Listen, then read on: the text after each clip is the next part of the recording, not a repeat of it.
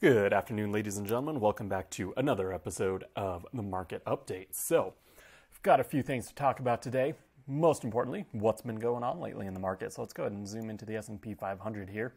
And as you can see, we basically came up here. So we were talking about this uh, last week when I made my last video, how we had come down here and we'd basically just filled this gap. We came up, retested that gap, and shot straight back down. So that gap got um, tested here and it held as resistance and the market sold off. So that's where we are now. That's kind of the context of where we are. But if you can go ahead and look left a little bit as well, you can see that the market basically came right down here and bounced off of this support zone. So let me go ahead and draw that in a little bit better there. It was basically right around here, if I can get this as close to zero as possible. There we go. So we had this, uh, this level here. It's acted as resistance before in the past. And then once we finally break, broke through, it acted as support. And then we came down here, we tested it again. Today, it acted as support. So we had a YouTube show earlier today. If you guys are interested in our analysis here at TradeSmart on what's going on with the market, then I highly recommend you watch that. But basically, we're pretty much all in agreement that we're expecting some sort of bounce here. So you can see we had a nice support here. We finally got our first green candle. And I think we're likely to see a bit of a bounce here over the next few days. Now, the question, as Scott Landers always asks, is is this a trade or is it a trend? Personally, I'm of the opinion that it is a trade rather than a trend, meaning that I'm not expecting to be in this for a long time, but I do think that this trade could definitely last several days. So we've got a long weekend here. I think we're likely to probably continue going up tomorrow, uh, Friday, as we get into the weekend here. I think we're likely to kind of head on higher to close out the weekend. That being said, once we get into next week and start looking at uh, how things are looking after the three day weekend, after the long weekend, it's pretty much anyone's guess at that point. So I don't really have any predictions for next week. It will kind of just depend on what happens on Friday and if there's any news over the weekend, any sort of price action coming in on futures. So keep an eye on those, but that is what I'm looking at here on the S&P 500. I think we are likely to get a little bit of a rally here. I got my calls in earlier today, uh, and sure enough, we've been shooting up. We had a nice strong rally into the end of the market here today.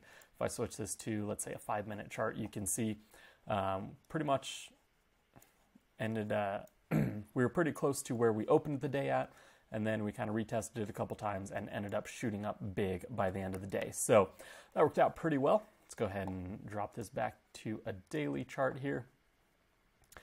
And let's take a look at the Dow Jones next.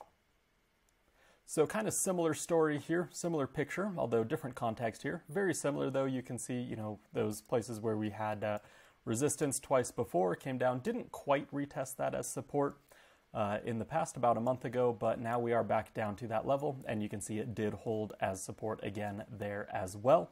So things are looking good here on the Dow Jones. That being said, we do have this gap down here to fill. We haven't quite filled that yet, so we've got a little bit more room to fall to the downside. Doesn't mean it's going to happen now. I do think we are in for a bit of a a rally here.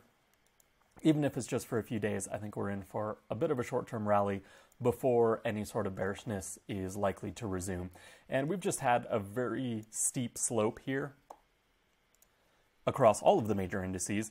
So that's just not very sustainable. Obviously, we you know we can't maintain just a, a straight downward drop, so it's going to have to kind of um, go sideways at least for a little bit or rally a bit. So I think that's what we're seeing here. I think we're about to get uh, a little bit of a rally, probably be fairly sharp, and then we might continue our downward path, but we'll have to see what happens once we have this rally. Next, we've got the Russell 2000 here. So as you can see, basically just sitting kind of halfway here between um, our support and resistance lines. So that 50% line kind of acting as support here as well. Came down here, tested that, again, gapped here in the morning, and uh, tried to sell off earlier during the day and ultimately ended up rallying back by the close. We did end up closing bef- below where we opened, but not significantly. And this is a bit of a, a reversal candle here, so I do think Again, we are likely to see a bit of a rally here. On the Russell 2000, we might even get all the way back up to resistance here, but we'll have to see what happens. That is a, a bit of a stretch here. Could be a nice goal to get to, but I'm not I'm not holding my breath that we get all the way up there. Last one here is semiconductors. So if we take a look at semis here, you can see um, this resistance basically acting uh, reliably, I should say. um, so we come up here and we had a bit of a, a double top as the market kind of tested that twice and then ultimately ended up trading back inside of that range. So we tried to have a breakout here. We weren't able to sustain it and back inside the trend lines we go. And I think we're likely to see a similar thing here on the NASDAQ. So let's go ahead and pull that up. Yeah, kind of similar. You know, if we if we draw those trend lines across here, we were looking at trying to get a breakout here, but then we are back down inside. We're back down below our 20% from the high level on the NASDAQ as well. So this is basically just measuring the bear market level on the NASDAQ, and we are back inside that now as of last week. And it does look like we have found support at that previous resistance and old support level again as well. So we had resistance there, twice, finally broke out, retested it as support, came back, and now we have tested it again as support, and it does appear to be holding for now.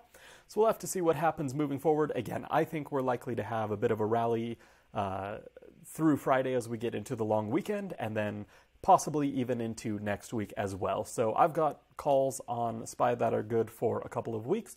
So I've got plenty of time for those to work out, and we'll see when the rally happens. But that's just what I'm looking at right now. So hopefully that's been helpful for you guys. If you like this video, if you like this content, make sure to like the video, and it will help reach more people who will also find it useful. And if you do want to get more market updates in the future, make sure you subscribe to the channel so you'll get notified every time we upload a video. So that's been it for me today. I will be back on Tuesday next week as we look at what has happened after the long weekend. Hope you guys have a fantastic holiday weekend, and I will see you next week. Take care.